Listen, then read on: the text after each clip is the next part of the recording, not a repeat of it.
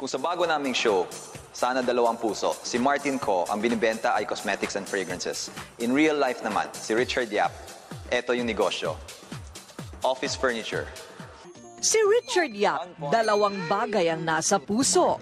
Ang pagiging aktor at pagiging negosyante.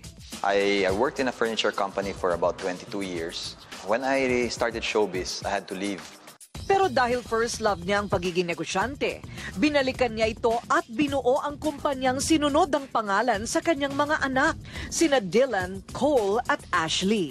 We're importers, traders, and uh, we provide solutions to office interiors. So we supply systems furniture, mga banks, multinational corporations, BPOs, any kind of office. Modern at madaling i-assemble, heto na raw ang uso. Mula mga mesa, So eto, magkakabit lang tayo ng extension table to make the table bigger. Nakascrew lang sila lahat. So it's very easy to assemble and disassemble. Eto yung tinatawag nila na bench type. Kita mo lahat. The partitions are for privacy. And then meron din siyang mga wiring. You can just plug your wires in there. Heto pa ang kanyang mga tip para sa pagpili ng furniture. These chairs are all adjustable. You can adjust the arms, you can adjust the height of the chair. These are called loose furniture.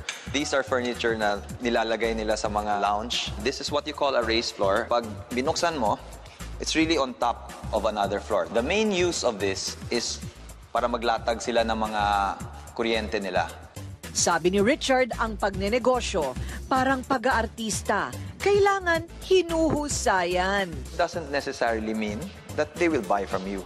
You still have to have the product speak for themselves. The, the drawback is, mapapuntahin ka para magpa-picture lang. Pero ganun talaga yun eh.